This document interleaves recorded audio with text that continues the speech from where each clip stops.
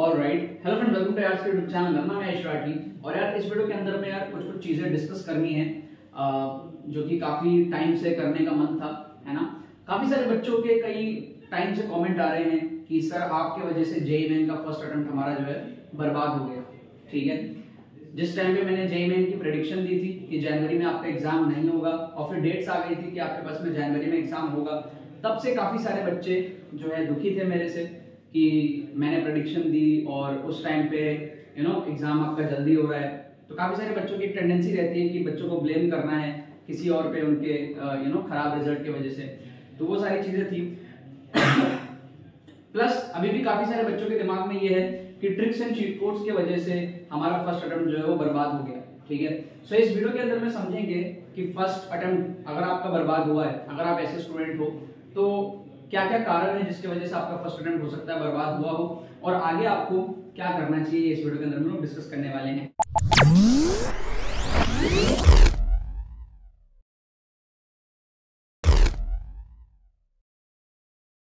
सबसे पहले, समझते हैं प्रॉब्लम क्या है। प्रॉब्लम हमारे पास में है कि आपका फ़र्स्ट अटेम्प्ट जो है फ़र्स्ट अटेम्प्ट किसका फ़र्स्ट अटेम्प्ट 2023 के जेई मेन का। वो आपका बर्बाद हुआ है। ठीक है? राइट हमारा मोटिव क्या है? हमारा मोटिव है कि हमें सेकेंड अटेम्प्ट में, जो हमारा सेकेंड अटेम्प्ट होगा, उसमें हमको अच्छा स्कोर लेकर के आना है। हमें एनआईटीज को सिक्योर करना है। राइट जो बच्चे फ़र्स्ट अटेम्प्ट में सिक्योर कर चुके मेरे टिप्स एंड ट्रिक्स को फॉलो करके उनको कॉन्ग्रेचुलेशन कमेंट सेक्शन में आप लोग बता सकते हो कि आप लोग का रिज़ल्ट रहा। जो लोग नहीं कर पाए या अच्छा किया और इंप्रूव करना चाहते हैं, वो इस वीडियो को देखो, समझो, ध्यान से हुआ क्या। सबसे पहले, आपके पास में जेई मेन के दो अटेम्प्ट होते हैं। दो अटेम्प्ट का मतलब समझ तो बेस्ट ऑफ़ टू लिया जाता है राइट तो मेरी प्रेडिक्शन थी। मैंने प्रेडिक्शन दिया था अपना कि जेई मेन जो है, जनवरी में नहीं होगा, अप्रैल में होगा। ये मेरी प्रोडिक्शन थी राइट जो कि गलत हुई। मेरे साथ साथ और भी बहुत सारे यूट्यूबर्स की बड़े बड़े टीचर्स की प्रोडिक्शन जो है, गलत हुई। लेकिन क्या इस प्रोडिक्शन गलत होने की वजह से बच्चों का कोई नुकसान है? एट दी एंड बच्चों का कोई नुकसान है? नहीं। क्यों? रीजन वन कि मैंने कभी भी बच्चों को ये नहीं कहा कि आप पढ़ाई मत करो, पहली चीज़। प्रेडिक्शन बच्चे पूछते रहते एग्ज़ाम कब होगा डेट कब होगा प्रेडिक्शन दी, लेकिन कभी ये नहीं कहा कि आप पढ़ाई मत करो, आप बाद में पढ़ना, ऐसा कभी नहीं कहा। पहली चीज़। दूसरी चीज़, जिन भी बच्चों को ऐसा लगता है कि सर, अप्रैल मान के हम पढ़ाई कर रहे थे, अब एग्ज़ाम जैन में हो गया फ़र्स्ट अटेम्प्ट हमारा जो है वो जनवरी में हो गया तो हमारा नुकसान हो गया, ऐसा कुछ नहीं है। आप अप्रैल मान के पढ़ाई कर रहे थे तो आप अप्रैल मान की पढ़ाई करो ना, क्या दिक्कत है? सेकेंड अटेम्प्ट में है तो सही अप्रैल में एग्ज़ाम राइट तो अगर आपकी मेंटालिटी ये थी कि भाई, मैं तो आयुष सर के बोलने पे मैं अप्रैल अटेम्प्ट के लिए प्रिपेयर कर रहा था। सपोज़ फॉर एग्जांपल मैंने कभी ऐसा कहा नहीं, फिर भी, अगर आपको लगता है कि मेरे बोलने पे आप अप्रैल अटेम्प्ट के लिए प्रिपेयर कर रहे थे तो कोई दिक्कत नहीं, आप अप्रैल अटेम्प्ट में झंडे गाड़ोगे ना? अप्रैल अटेम्प्ट में तो आप अच्छा करने वाले थे ना? अब ये मत कहना कि नहीं, अप्रैल अटेम्प्ट में भी मैं अच्छा नहीं कर पाऊँगा। नहीं आपने सोचा था अप्रैल अटेम्प्ट में मैं फोड़ दूँगा पूरा, क्योंकि सर ने कहा अप्रैल में एग्ज़ाम होगा। तो आप अप्रैल अटेम्प्ट में झंडे गाड़ लेना बेस्ट ऑफ़ टू लिया जाता है वैसे भी। आपका जो फाइनल रिज़ल्ट आता है, वो दोनों का बेस्ट ऑफ़ टू रहता है ना? ठीक है? ये बातें मैं पहले इसलिए नहीं बोला, क्योंकि मैं चाहता था एक बार जेईएम का फ़र्स्ट अटेम्प्ट हो जाए, फिर मैं ये सारी चीज़ें आप लोगों को क्लैरिफाई कर दूँगा राइट बेस्ट ऑफ़ टू होता है फ़र्स्ट अटेम्प्ट और सेकंड अटेम्प्ट में जो भी बेस्ट अटेम्प्ट आपका होगा, वही लिया जाएगा। तो कंसिडरिंग कि मेरे वजह से आप जनवरी के लिए नहीं पढ़े, जनवरी अटेम्प्ट आपका खराब गया, अप्रैल तो अच्छा जाएगा ना, अप्रैल में तो टॉप करोगे राइट तो जनवरी वैसे भी काउंट नहीं होगा आपका, जो चीज़ काउंट होने ही नहीं वाला आपका, उसके लिए टेंशन लेने की क्या फ़ायदा राइट बेस्ट ऑफ़ टू होता है, जो चीज़ आपका काउंट ही नहीं होने वाला, उसके लिए आपको टेंशन लेके यहाँ पर कोई फ़ायदा नहीं है, पहली चीज़। राइट दूसरी चीज़ ये कई सारे बच्चों के दिमाग में है ना कि सर आपने चैनल डिलीट का बोला था। चैनल डिलीट को लेकर के आ जाते एक बार फटाफट से। चैनल डिलीट ठीक है? सो so, हाँ चैनल डिलीट का मैंने बोला था मैंने कहा था कि अगर जनवरी में एग्ज़ाम होगा तो मैं चैनल डिलीट कर दूँगा। बट लेटर आई रियलाइज़ कि जो भी बच्चे जब डेट आया जनवरी का तो जो भी बच्चे कमेंट्स कर रहे थे मुझे रियलाइज़ हुआ कि ये मेरे रेगुलर सब्सक्राइबर्स है ही नहीं। ये वही बच्चे हैं जो यूट्यूब पे डेट सर्च करते हैं। इधर भी देखा, उधर भी देखा, उधर भी देखा। वो वाले जो बच्चे होते हैं, जिनका बिल्कुल भी क्रिएटर के साथ में, मेरे साथ में स्पेशली कोई लेना देना था ही नहीं। तो केवल उन्हीं बच्चों के कमेंट्स आ रहे थे और वो भी बहुत बुरे तरीके से आ रहे थे। तो वहाँ पर मैंने आप लोगों को वीडियो डाल के बताया था। उसी दिन, जिस दिन एग्ज़ाम की डेट्स आई थी, मैंने वीडियो डाल करके आप लोगों को बताया था कि चैनल डिलीट को लेकर के हम क्या करने वाले हैं। इससे मैं पीछे नहीं हटा था। मैंने आप लोगों को क्लियरली बताया था कि इन हेटर्स के बोलने पे चैनल डिलीट नहीं होगा। मैंने कहा था चैनल डिलीट करेंगे हम लोग कम्युनिटी पोस्ट करने के बाद। सो कम्युनिटी पोस्ट भी हुआ। कम्युनिटी पोस्ट में मैंने कहा था मेजोरिटी अगर कहेंगे कि चैनल डिलीट करो तो चैनल डिलीट होगा। मैंने कहा था, अगर मेजोरिटी कहेंगे चैनल डिलीट मत करो तो चैनल डिलीट नहीं होगा। कम्युनिटी पोस्ट में मेजोरिटी बच्चों ने कहा नो ठीक है? जबकि मैंने अपने वीडियो के अंदर में कई बार बच्चों को कहा था कि आप खुद भी यस करना अपने दोस्तों से भी यस करवाना। काफ़ी सारे बच्चों ने मिल करके झुंड बना करके यस किया, लेकिन उसके बाद भी जो मेजोरिटी परसेंटेज थी, वो नो की थी। क्योंकि बच्चों को जनरली जो भी बच्चे कनेक्टेड हैं, उनको चैनल से फ़ायदा होता है। सो so, ये बात मैंने कह दी थी कि चैनल डिलीट मैं कर दूँगा। ठीक है? लेकिन मेरे को बाद में रियलाइज़ हुआ कि मुझे जो हेटर्स बच्चे, उनकी नहीं सोचनी चाहिए, मुझे सबका सोचना चाहिए। ठीक है? मतलब एक सिंपल सा थॉट है कि चैनल डिलीट करने से किसी का क्या फ़ायदा होगा? मतलब क्या फ़ायदा होगा? कोई फ़ायदा नहीं होगा। और ए आर स्क्वाड मैंने अकेले ने तो बनाया नहीं है। सबने मिल करके बनाया, सारे स्टूडेंट्स की मेहनत लगी है इसमें। ठीक है, मेरे साथ के और भी बहुत सारे लोगों की मेहनत लगी है। तो कुछ मेरे मुँह से कुछ भी निकली हुई चीज़ का मैं इस तरीके से जो है डिसीज़न नहीं ले सकता, जिससे सबका नुकसान ही हो रहा है, कुछ फ़ायदा नहीं हो रहा। ठीक है? तो ये चीज़ मैंने कही थी बट मैंने कम्युनिटी पोल लगा दिया था। कम्युनिटी पोल के अंदर में सारे बच्चों ने पोल कर दिया था। उसके बेसिस पर चैनल डिलीट नहीं हो रहा है। सो so, जितने भी हेटर्स हैं जो ये सोच के बैठे हैं कि आप मुझे कमेंट्स करोगे इंस्टाग्राम में मैसेजेस करोगे तो चैनल डिलीट हो जाएगा। सो so सॉरी नहीं होगा अगेन कोई भी नुकसान आपका नहीं हुआ है। मैंने कहा था एग्ज़ाम अप्रैल में होगा अब अप्रैल अटेम्प्ट में आप टॉप करोगे तो आपका अप्रैल अटेम्प्ट ही काउंट होने वाला है। तो अगर आपको ये लग रहा है ना कि मेरे वजह से आपको कोई नुकसान हो गया है कोई नुकसान नहीं हुआ ठीक है? क्योंकि आपका फाइनल रिज़ल्ट में जनवरी अटेम्प्ट काउंट ही नहीं होने वाला। अब प्रॉब्लम क्या हो गई है? आप लोगों ने टाइम वेस्ट कर दिया। आप लोगों ने दो तीन महीने हेट करने में टेंशन लेने में कि अरे यार, अब तो जनवरी में एग्ज़ाम हो रहा है, मैं अब क्या करूँगा? ये सारी चीज़ें करने में आपने क्या कर दिया कि जो अप्रैल अटेम्प्ट आपका होने वाला है, वहाँ भी अब आप लेट हो। कम से कम अप्रैल अटेम्प्ट के लिए आप ऑन द ट्रैक होते, जो बुद्धिमान बच्चे हैं ना, जिनको समझ आ गया था कि भाई जनवरी में मैं अच्छा नहीं कर पाऊँगा, उन्होंने जनवरी अटेम्प्ट के बारे में सोचा ही नहीं।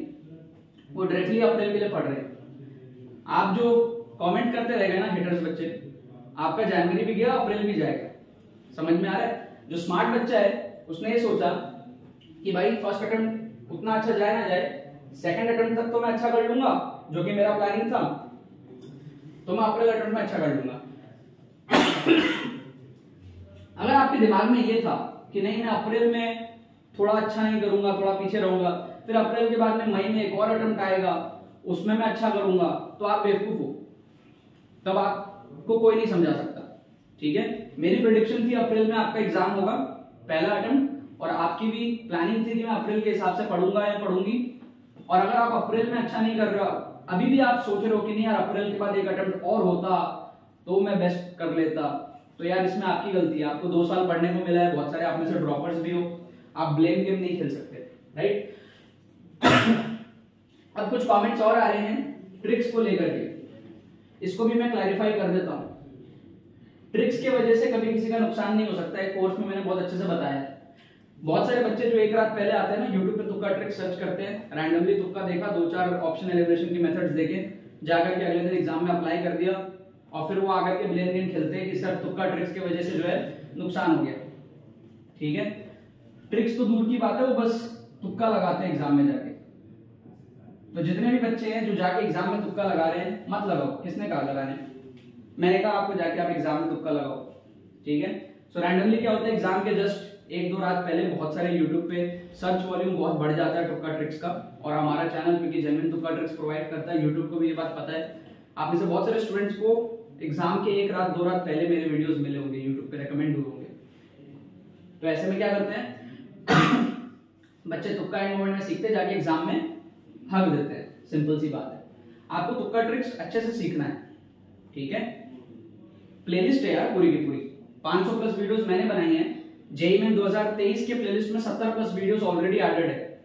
तो आप वो सारे देखोगे, तब आपका थोड़ा माइंडसेट आपका डेवलप होगा कि आपको तुक्का ट्रिक्स लगाना है, नहीं लगाना है, क्या करना है। तुक्का ट्रिक्स से किसी का नुकसान नहीं होता, ये कोर्स में दिखा रखा है।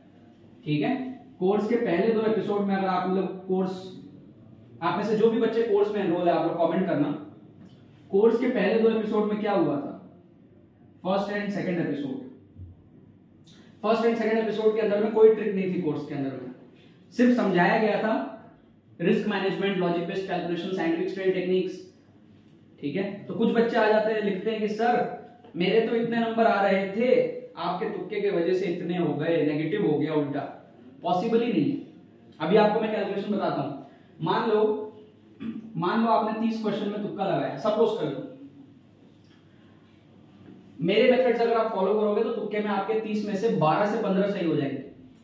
अगर आपके 12 सही होते हैं 18 गलत होते हैं तो 12 सही होने के 48 मार्क्स और 18 गलत होने के माइनस एटीन तो कुल मिला के क्या हुआ? प्लस थर्टी का बूस्ट हुआ। समझ में आ रहा है आपको? तीस नंबर का बूस्ट हुआ। अब बच्चे दिक्कत क्या करते हैं? बच्चे ब्लेम गेम कैसे खेलते हैं? बच्चे बोलते हैं कि, सर, मेरा 48 आ रहा था, आपकी वजह से 18 कम हो गए और सिर्फ़ 30 आया। अरे भाई, जो 48 आया, वो भी तो मेरे वजह से आया। उसका क्रेडिट बच्चे नहीं देते। जो ब्लेम गेम खेलने वाले बच्चे होते हैं आपको यूट्यूब पे से बहुत कमेंट्स दिखेंगे। मैंने ये चीज़ कोर्स में कई बार बताया था। राइट बच्चे तुक्का ट्रिक्स लगाते हैं। जो सही होता है, वो काउंट नहीं करते। जो सही हुआ, उसमें अपना क्रेडिट जो गलत हुआ, उसमें मेरा क्रेडिट और फिर बच्चे कमेंट करते हैं कि आपकी वजह से मेरे इतने आए, इतने आ रहे थे और इतने नेगेटिव हो गए आपकी वजह से। भाई, जितने आ रहे थे, वो भी मेरे वजह से आ रहे ये कौन बताएगा? समझ रहे हो? इस चीज़ को समझो। तुक्का ट्रिक्स आपको उन क्वेश्चंस में अप्लाई करना है जो आप छोड़ रहे थे। ऐसा नहीं कि आपको आता है वो क्वेश्चंस में आप तुक्का ट्रिक्स अप्लाई कर लोगे क्या आपको बात समझ में आ रहा है? राइट ये सिंपल सी कैलकुलेशन मैंने आपको बताई। वर्स्ट केस सिनेरियो बताता हूँ। वर्स्ट केस सिनेरियो में अगर आपका 30 में से मान लो छह सही होता है सिर्फ़, बहुत वर्ष के सिनेरियो तो छह सही होगा तो चौबीस गलत होगा।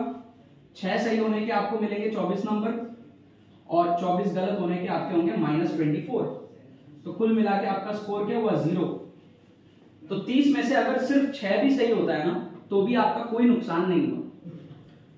अगर आप कहते हो कि नहीं सर, हमारा तो छह भी सही नहीं हुआ, हमारे तो सब गलत चले गए, आप बेवकूफ़ हो।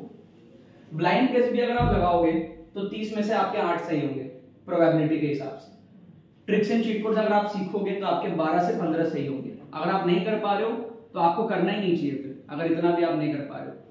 ठीक है? घर से प्रैक्टिस करके जाना होता है मॉक टेस्ट में अप्लाई करना होता है। इसीलिए कहता हूँ कोर्स के अंदर में एनरोल करो। कोर्स के अंदर में क्या है ना, आपको ऑन स्पॉट कोर्स में क्या होता है?